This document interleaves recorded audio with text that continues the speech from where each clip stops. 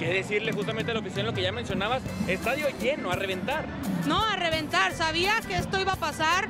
Ni siquiera habían salido los boletos a la venta cuando creo que ya estaba lleno el estadio. Entonces, es una felicidad muy grande que ellos nos demuestren que están con nosotros a pesar de todo. Muchas gracias porque me han aceptado y querido desde el minuto uno y yo a ustedes también, son la mejor afición. Parte importantísima de esta quinta creo que se hacen sentir desde donde sea y eso se les agradece de corazón.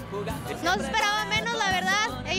al pie del cañón y gracias a ellos también es que estamos aquí hoy. Por su, nos motivan bastante a estar aquí y pues nada, por su apoyo y esto también es de ellos, es de todos nosotros. Sí, pues es el mejor afición de México, de todo el mundo, la verdad, son los mejores.